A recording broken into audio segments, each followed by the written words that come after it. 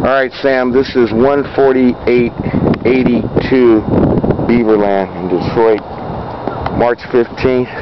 It's a brick ranch style home, two bedroom, no garage, all busted windows. Roof seems to be in pretty fair to good condition. I'll confirm it in a second. Does have a basement. It's been vandalized, windows been broken. As you can see, they've gone in and taken all the electrical out, all the plumbing.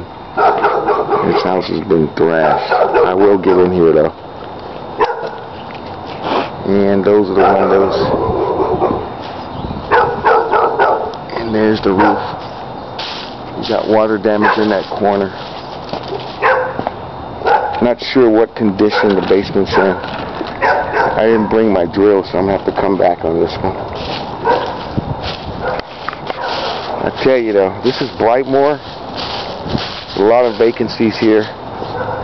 There's a park across the street. I mean, this house, in my opinion, just look at the roof. You're gonna need some roof work.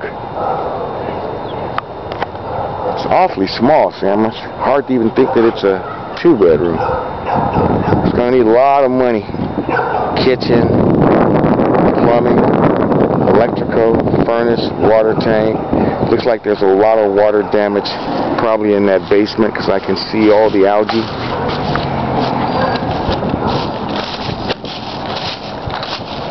From the gutters not being there. So the water's just seeping in there and I'm sure. I'm sure. Alright, I'll get back to you on this one, Sam.